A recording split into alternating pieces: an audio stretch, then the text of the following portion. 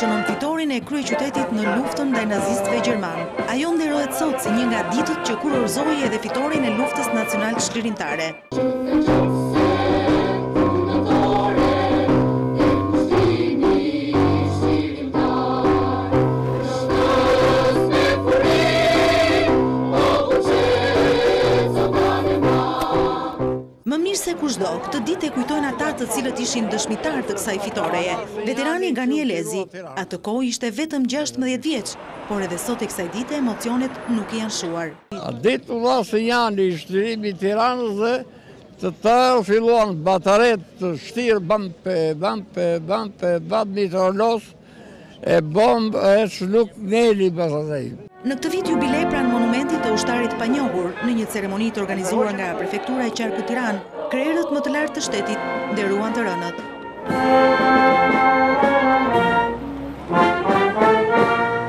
Nën ritmin e bandës frymore, kreu i qeverisë Edi Rama, kryetari i Kuvendit Ilir Meta, ministrat e kabinetit qeveritar dhe deputetë të mazhorancës vendosën kurora me lule pranë simbolit të partizanëve të rënë për çlirimin e kryeqytetit.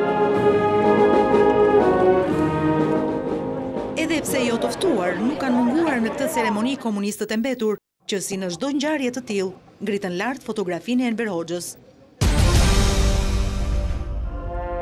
Të djathtët e kanë përkujtuar shtatëdhjetë vjetorin e çlirimit të Tiranës me homazhe në varrezat e dëshmorëve. Vërtet nuk kemi një situatë si shtatëdhjetë vjet më parë, por ama Ideali ynë për një vend më të mirë, për një vend më të drejtë, për një vend në familjen evropiane,